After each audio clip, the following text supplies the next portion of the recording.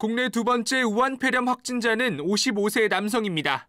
중국 우한시에서 일하던 이 남성은 지난 10일 처음 목감기 증상을 발견했고 현지 의료기관도 방문했습니다.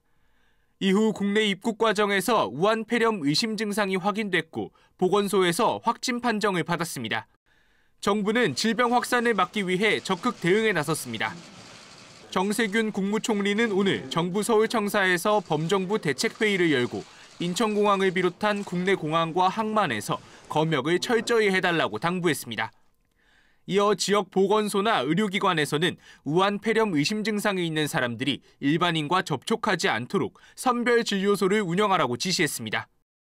신종 코로나 바이러스가 종식될 때까지는 상당한 시간과 노력이 필요할 수도 있습니다. 초기 강력한 대응이 피해를 최소화할 수 있다는 각오로 임해 주시기 바랍니다. 이런 가운데 중국에서는 하루 만에 8명이 추가 사망하고 우한 폐렴 환자도 259명이 새로 확인됐습니다.